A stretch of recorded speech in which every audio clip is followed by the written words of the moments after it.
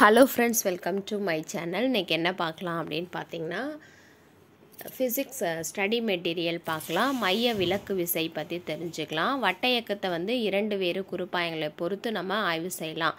அதில் ஒன்று தான் வந்து நிலைமை குறிப்பாயம். இந்த குறிப்பாயம் அப்படிங்கிறது ஓய்வு நிலை மற்றும் சீரான இயக்க நிலை. இவற்றில் ஏதேனும் ஒரு நிலையில் இருக்கும் இங்கு இயக்கத்தில் உள்ள பொருட்கள் வந்து நியூட்டனின் இயக்க விதிகளுக்கு கட்டுப்பட்டு இயங்கும். மற்றொரு குறிப்பாயம் முடுக்கமடைகின்ற நிலைமமற்ற குறிப்பாயமான சுழற்சி குறிப்பாயம் அப்படின்னு சொல்லலாம். வட்ட இயக்கத்தினை வந்து குறிப்பாயங்களை கொண்டு வெவ்வேறு கண்ணோட்டத்தில் ஆய்வு செய்யலாம். சுழற்சி குறிப்பாயத்தில் நியூட்டனினுடைய முதல் விதி மற்றும் இரண்டாம் விதியை வந்து பயன்படுத்துகிறப்ப ஒரு போலியான விசையை வந்து சேர்த்து கருதணும். இந்த போலியான விசை தான் வந்து மைய விலக்கு விசை. இத்தகைய மைய விலக்கு விசை சுழற்சி குறிப்பாயத்தை பொறுத்து பொருளின் மீது செயல்படும் மைய விளக்கு விசையினை வந்து புரிந்து கொள்ள கீழ்கண்ட விளக்கம் அப்படிங்கிறது துணை புரியுது. மெல்லிய கயிற்றின் ஒரு முனையில் கட்டப்பட்டு சுழற்சி இயக்கத்தை மேற்கொள்ளும் கல் ஒன்றை கருதுவோம். ஓய்வு நிலையில் இருக்க நிலைமை குறிப்பாயத்தை பொறுத்து கல்லினுடைய கோண திசை வேகம் அப்படிங்கிறது ஒமேகா. ஒமேகா கோண திசை வேகத்தில் கல்லோடு சேர்ந்து சுழற்சி இயக்கத்தில் இருக்க மற்றொரு குறிப்பாயத்துலேருந்து கல்வினை பார்க்குறப்ப அந்த கல் வந்து ஓய்வு நிலையில் இருக்கிறது போல தோன்றுது.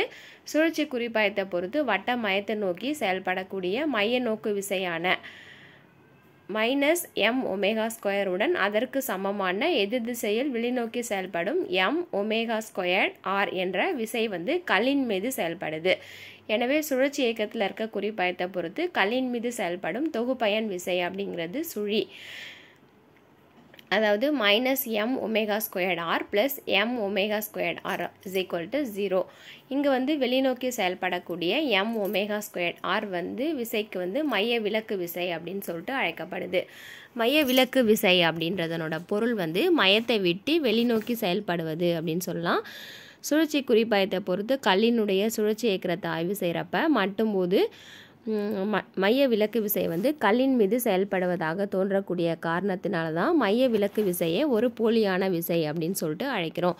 இந்த போலியான விசை அப்படிங்கிறது எந்த மூலத்திலேருந்தும் தோன்றது கிடையாது. இந்த போலி விசை தோன்றுவதற்கான காரணம் நாம் வந்து கருதும் சுழற்சி குறிப்பாயம் ஒரு நிலைமமற்ற குறிப்பாயம் அப்படிங்கிறதால. நிலைமமற்ற குறிப்பாயத்தை பொறுத்து கல்லினுடைய சுழற்சி இயக்கத்தை ஆய்வு செய்கிறப்ப வந்து மைய நோக்கு விசை மட்டுமே வந்து செயல்படும். இந்த மைய நோ நோக்கு விசை கல் கட்டப்பட்டிருக்கும். மெல்லிய கயிற்றினுடைய இழுவிசையால் பெறப்படுது. சுழற்சி குறிப்பாயத்தை பொறுத்து சுழற்சி இயக்க கணக்குகளை வந்து தீர்வு செய்ய வரையப்படும் தனித்த பொருட்களின் விசை படங்களின் உள்ளவாறு மைய விலக்கு விசை வந்து கண்டிப்பாக வந்து காட்டப்படணும். மைய விலக்கு விசையினுடைய விளைவுகள் அப்படின்னு பார்த்தோன்னா மைய விலக்கு விசை அப்படிங்கிறது ஒரு போலி விசையாக இருந்தாலும் அதனோட விளைவுகள் அப்படிங்கிறது உண்மையானது. அதாவது கார் ஒன்று வளைவு பாதையில் திரும்பும்போது காரின் உள்ளே அமர்ந்திருப்பவர் ஒரு வெளிப்புற விசையை வந்து உணர்றாரு. அந்த விசை வந்து அவரை வெளிநோக்கி வந்து தள்ளும். இந்த வெளிநோக்கு விசையையும் மைய விலக்கு விசை அப்படின்னு சொல்லிட்டு அழைக்கலாம். காரினுடைய இருக்கைக்கும் அமர்ந்திருக்கும் நபருக்கும் இடையே உள்ள போதுமான உராய்வு இருந்தால் தான் அவர் வந்து வெளியே தள்ளப்படுவது அப்படிங்கிறது தவிர்க்கப்படுது. நேர்கோட்டு பாதையில் சென்று கொண்டிருக்கும் கார் வந்து ஒன்று திடீரென தன் பாதையிலேருந்து வளையிறப்ப காரின் உள்ளே நிலையாக பொருத்தப்படாத ஒரு பொருள் திசையில் நிலைமை பண்பின் காரணமாக நேர்கோட்டு பாதையிலேயே தொடர்ந்து இருக்க முயற்சிக்குது. இந்த இயக்கத்தை தான் வந்து நிலைமை குறிப்பாயத்துலேருந்து நேர்கோட்டு இயக்கமாக வந்து பார்க்குறப்ப தெரியுது. ஆனால் சுழற்சி குறிப்பாயத்துலேருந்து பார்க்குறப்ப இயக்கம் அப்படிங்கிறது வெளிநோக்கி செல்வது போல தோன்றுது. சுருளு மேடையில் நின்று கொண்டிருக்கும் நபர் வந்து வெளிப்புற மைய விளக்கு விசை வந்து உணர்றாரு. இதன் காரணமாக மேடையிலேருந்து அவர் வெளியே தள்ளப்பட வாய்ப்பு வந்து அதிகம். நின்று கொண்டிருக்கும் நபருக்கும் மேடைக்குமான உராய் விசை வெளிநோக்கி தள்ளப்படுற விசையை வந்து சமன் செய்ய போதுமானதல்ல. இதனை தவிர்க்கிறதுக்காக மேடையின் வெளிப்புற விளிம்பு சற்று மேல்நோக்கி உயர்த்தப்பட்டிருக்கும்.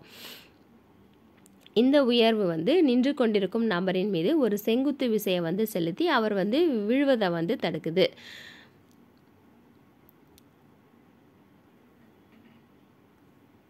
பேருந்தில் பயணம் செய்கிறப்ப திறந்திருக்கும் கதவு அல்லது படிக்கட்டில் நின்று பயணம் செய்வது அப்படிங்கிறது மிக ஆபத்தானது.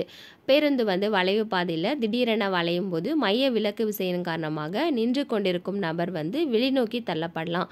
மைய விலக்கு விசை அப்படிங்கிறது ஒரு போலியான விசையாக இருந்தால் கூட அதனோட விளைவுகள் அப்படிங்கிறது உண்மையாக இருக்குது நெக்ஸ்ட்டு புவியின் சுழற்சினால் ஏற்படக்கூடிய மைய விலக்கு விசை பற்றி பார்க்கலாம். புவியை வந்து நம்ம ஒரு நிலைமை குறிப்பாயமாக கருதினாலும் உண்மையில் அவ்வாறு கிடையாது. புவி வந்து ஒமேகா அப்படின்ற கோண திசை வேகத்தில் தன் அச்சை பொறுத்து தன்னை தானே சுற்றிட்டு இருக்கு புவி பரப்பில் இருக்க எந்த ஒரு பொருளுமே வந்து மைய விலக்கு விசையை வந்து உணரும். இந்த மைய விலக்கு விசை சுழல் அச்சிலிருந்து மிக சரியாக எதிர் திசையில் செயல்படுவது போல தோன்றுது. புவி பரப்பில் நின்று கொண்டிருக்கும் மனிதரினுடைய மைய விலக்கு விசை F CF is equal to M omega square R இங்கே ஆர் அப்படிங்கிறது சுழல் அச்சுக்கும் மனிதனுக்கும் இடையே உள்ள செங்குத்து தொலைவு. செங்கோண முக்கோணத்துலேருந்து உள்ள தொலைவு small R is equal to R cos theta இங்கே ஆர் அப்படிங்கிறது புவியினுடைய ஆரம். தீட்டா அப்படிங்கிறது மனிதன் நின்று கொண்டிருக்கும் புள்ளியில் புவியினுடைய குறுக்கு கோடு அதாவது லேட்டிடியூட் அப்படின்னு சொல்லிட்டு அழைக்கப்படுது. நெக்ஸ்ட்டு மைய நோக்கு விசை மற்றும் மைய விலக்கு விசை ஒரு ஒப்பீடு பற்றி பார்க்கலாம். மைய நோக்கு விசை மற்றும் மைய விலக்கு விசை இவற்றினுடைய சிறப்பு கூறுகள் பற்றி தெரிஞ்சுக்கலாம். மய நோக்கு விசை அப்படிங்கிறது புவியீர்ப்பு விசை கம்பியினுடைய இழுவிசை செங்குத்து விசை போன்ற புற விசைகள்னால பொருளின் மீது செயல்படும் உண்மையான விசை அப்படின்னு சொல்லலாம். மைய விளக்கு விசை அப்படிங்கிறது ஒரு போலியான அல்லது பொய்யான விசை. இந்த விசை வந்து புவியீர்ப்பு விசை கம்பியின் இழுவிசை செங்குத்து விசை போன்ற புற விசைகளால் தோன்றாது. நிலைமம் மற்றும் நிலைமமற்ற குறிப்பாயங்கள் இரண்டிலும் இந்த விசை வந்து செயல்படுது மயநோக்கு விசையில். ஆனால் மைய விலக்கு விசையில் நிலைமமற்ற சுழலும் குறிப்பாயங்களில் மட்டுமே வந்து இந்த விசை வந்து செயல்படுது. சுழல் அச்சனை நோக்கி செயல்படும் வட்டப்பாதை இயக்கத்தில் வட்டத்தின் மையத்தை நோக்கி வந்து செயல்படுது. F CF is equal to M omega squared R that is equal to M V squared by R இது வந்து ஒரு உண்மையான விசை இதனோட விளைவுகளும் வந்து உண்மையானது. இரண்டு பொருட்களுக்கு இடையான உறவே மைய நோக்கு விசைக்கு வந்து அடிப்படையாக வந்து அமையுது ஆனால் மைய விலக்கு விசை அப்படிங்கிறது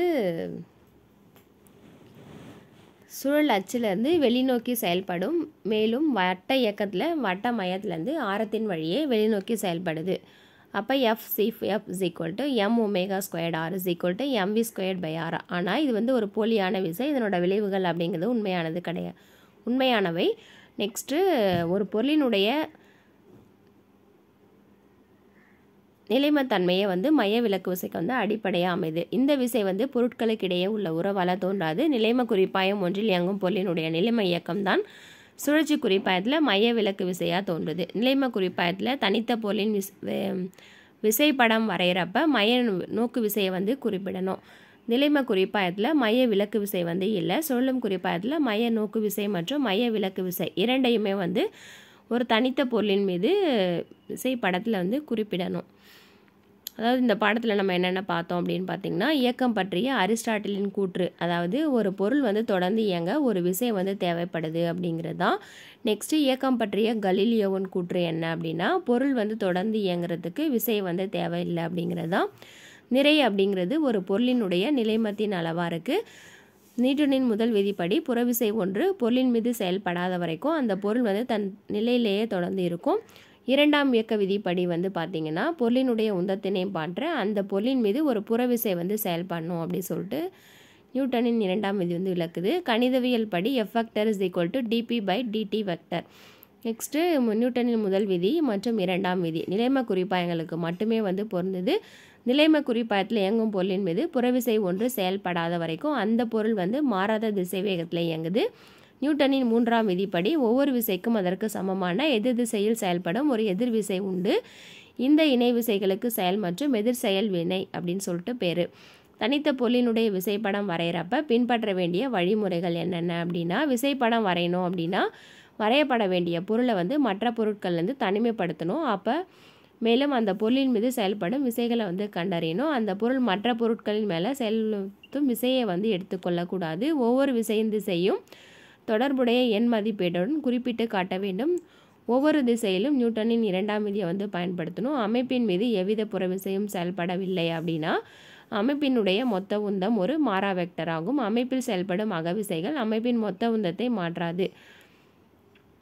லாமி தேற்றத்தின்படி ஒரு தலை விசைகள் பொருளின் மீது செயல்பட்டு அந்த பொருளை வந்து சமநிலையில் வைக்கிறப்ப ஒவ்வொரு விசை மற்றும் தொடர்புடைய எதிர்கோணத்தின் சைன் மதிப்பு இதற்குள்ள தகவு அப்படின்றது ஒன்றுக்கொண்டு சமமாக இருக்குது பொருளின் மீது செயல்படும் கனத்தாக்கு விசை அப்பொருளினுடைய உந்த மாற்றத்துக்கு சமமாக இருக்குது மிக குறைந்த வே நேரத்தில் பொருளின் மீது செயல்படும் விசையை வந்து நம்மளால் கணக்கிட முடியாது. ஆனால் கனத்தாக்கு விசையை வந்து கணக்கிடலாம். ஓய்வு நிலை உராய்வு அப்படிங்கிறது ஓய்வு நிலையில் பொருள் நகர்வதை எப்பொழுதும் எதிர்க்கும் இதனோட மதிப்பு சுழியிலிருந்து நியூ எஸ் என் என்ற எந்த மதிப்பையும் பெறலாம். அதாவது நியூ எஸ் என் விட அதிக வெளிப்புற விசை பொருளின் மீது செயல்பட்டால் பொருள் வந்து நகரத் தொடங்குது. பொருள் நகரத் தொடங்கியவுடன் பொருளின் மீது இயக்க உராய்வு செயல்பட தொடங்கும். அப்பொருள் மாறாது சேவேகத்தில் இயங்கணும் அப்படின்னா பொருளின் மீது வெளிப்புற விசை செயல்பட்டு இயக்க விசையினை வந்து சமன் செய்யணும். இயக்க உராய்வு நியூ கேஎன் அப்படின்னு சொல்லலாம். ஓய்வு நிலை உராய்வு நிலை மற்றும் இயக்க உராய்வை விட உருகுதலின் உராய்வின் மதிப்பு குறைவு. இதன் காரணமாக தான் கனமான பொருட்களை நகர்த்துறதுக்கு அதன் அடியில் உருளும் கட்டைகளை வந்து பொருத்துறாங்க. உதாரணம் உருளும் சக்கரங்கள் பொருத்தப்பட்ட பயணப்பெட்டி நெக்ஸ்ட்டு ஒன்றை ஒன்று தொடும் பரப்பில் இருக்க அணுக்களின் மின்காந்த விசையை உராய்வுக்கு அடிப்படையாக அமைது. வளைவு பாதை இயக்கத்தில் வளைவு பாதையின் மையத்தை நோக்கி மைய நோக்கு விசை செயல்படுது. சீரான வட்ட இயக்கத்தில் வட்டத்தின் மையத்தை நோக்கி மைய நோக்கு விசை செயல்படுது. மயநோக்கு விசையானது ஒரு தனித்த இயற்கை விசை கிடையாது. எந்த ஒரு இயற்கை விசையும் மயநோக்கு விசையாக வந்து செயல்படலாம். கோள்களின் இயக்கத்தில் சூரியனின் ஈர்ப்பு விசை மயநோக்கு விசையாக செயல்படுது. மெல்லிய கயிற்றில் கட்டப்பட்டு சுழல் இயக்கத்தை மேற்கொள்ளும் கல்லினுடைய இயக்கத்தில் கயிற்றினுடைய எழு விசை அப்படிங்கிறது மயநோக்கு விசையாக செயல்படுது. புவியினை சுற்றி வரும் நிலவின் இயக்கத்தில் நிலவின் மீது செயல்படும் புவியின் ஈர்ப்பு விசை மயநோக்கு விசையாக செயல்படுது. பொருளின் இயக்கத்தினை சொல்லும் குறிப்பாயத்தில் பகுப்பாய்வு செய்யும் போது மய விளக்கு விசை தோன்றுது. இது வந்து ஒரு போலி விசையாக இருக்குது சொல்லும் குறிப்பாயத்தில் பொருளினுடைய நிலைமை இயக்கம் மைய விலக்கு விசையாக தோன்றுது. மைய நோக்கு விசை மற்றும் மைய விலக்கு விசை இவ்விரண்டின் எண் மதிப்பும் எம் ஒமேகா ஸ்கொயர்ட் ஆர் ஆனால் வட்ட இயக்கத்தில் மயநோக்கு விசை வட்ட மயத்தை நோக்கி செயல்படும். மேலும் சுழற்சி குறிப்பாயத்தை பொறுத்து மைய விலக்கு விசை மயநோக்கு விசையின் திசைக்கு எதிர் திசையில் செயல்படும். இந்த வீடியோ உங்களுக்கு யூஸ்ஃபுல்லாக இருந்துச்சுன்னா லைக் பண்ணுங்கள் ஷேர் பண்ணுங்கள் கமெண்ட் பண்ணுங்கள் சப்ஸ்கிரைப் பண்ணுங்கள் கூடவே இருக்க பெல் பட்டனை கிளிக் பண்ணிக்கோங்க. நெக்ஸ்ட் வீடியோவில் பார்க்கலாம். பாய்